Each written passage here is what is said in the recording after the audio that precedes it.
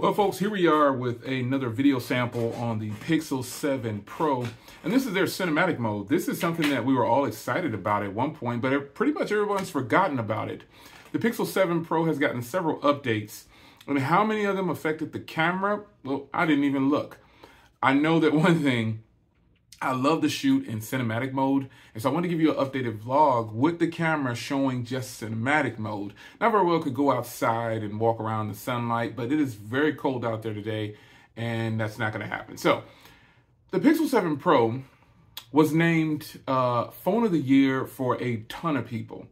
So, um, you know, I, I, chose the 6A for Phone of the Phone of the Year. I didn't do a video on it. I've said this multiple times. I didn't do a video but I did, in fact, tell you guys uh, multiple times that the 6A was uh, a well-rounded device that doesn't cost a lot, that has the same pretty much great performance on the cameras, the battery, the software. Everything was pretty much just spot on with the 7 Pro. Some people really get up in arms about that when they hear that because they say, oh, it doesn't have this, it doesn't have that. But in reality, the Pixel 7 uh, Pro, it does a lot. I, I'm not going to say it doesn't do a lot, but there's a lot that the Pixel 6a does as well. And it does it pretty much the same as the 7 Pro. When it comes down to it, the average consumer versus a techie, we're all doing the same thing. We're vlogging, we're doing social media, we're doing all these things that people do with their smartphones. So, cinematic mode. Now, I recently took the 14 Plus on a walk with me and I showed the cameras because people really love to hate that device. And, you know, I, I think it's, it's got to be one of the most hated iPhones uh, uh, in, in, a long time.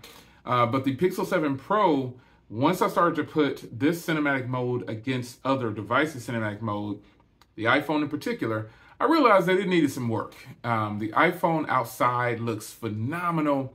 Uh, when vlogging in cinematic mode, as long as the lighting is right on a lot of these devices, you can get some fantastic cinematic video.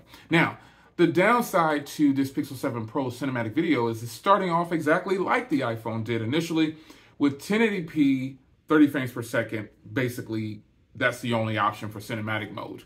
Now, there's a icon that you swipe over and you can get to it, uh, but that's about it. You just turn it on. And also, another thing uh, is it's only available on the rear camera. So right now, I have to trust, I had to check and make sure I got myself in view. Uh, and, and that's pretty much it. I'm not using any kind of external microphones. Even though the Pixel 7 Pro can use an external microphone, I'm not using one.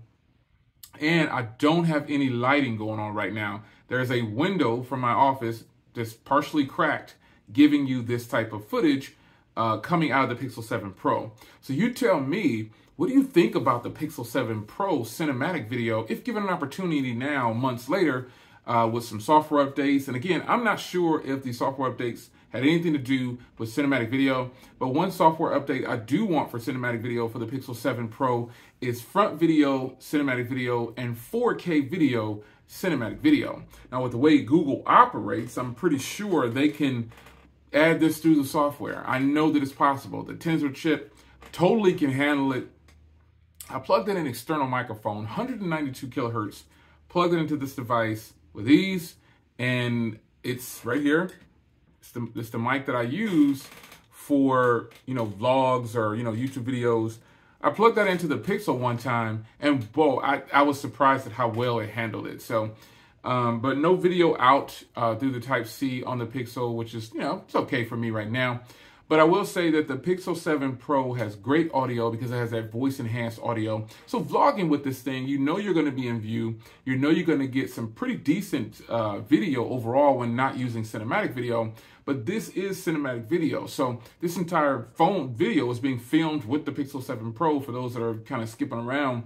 This is cinematic video on the Pixel 7 Pro, a feature that I love to use. I, I shoot with a Sigma lens. So any kind of vlogs or anything like that, anytime I, I feel like I can do a cinematic video, I am going to do it. I think that's the best look. It gives a sharper look and image of the person in view. It makes the vlogs look great, blurring out the background a little bit, and just making sure the subject is in view. Now, sometimes phones can over sharpen the image and you'll get not so great. It, will it'll you'll have a really sharp image of the of the person or the subject, and the background will be too blurry.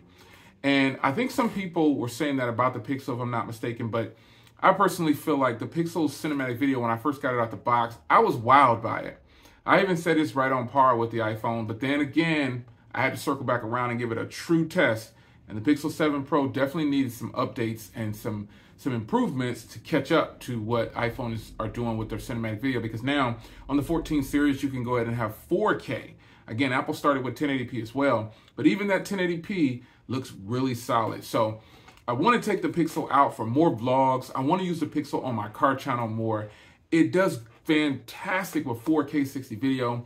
I'm not having any heating issues. There's just been no issues when using the camera on the Pixel 7 Pro or the Pixel 7 that's back there. So for me, shooting vlogs with phones is one of the most important things because cameras to me with a with on phones today they have to be good based on what i'm doing on my channel because i'll whip out a phone and shoot a video real quick and one take and keep it pushing and this video right here is going to be one take because i do it like this sometimes not to make it obviously i want to make it easy on myself for editing but i don't do it like that all the time for that reason i want you to just get a raw video no edits going straight to YouTube because YouTube does some kind of compression to where they already mess with the bitrate a little bit too already, and you don't get the full just of what the what the video looks like right off of the phone.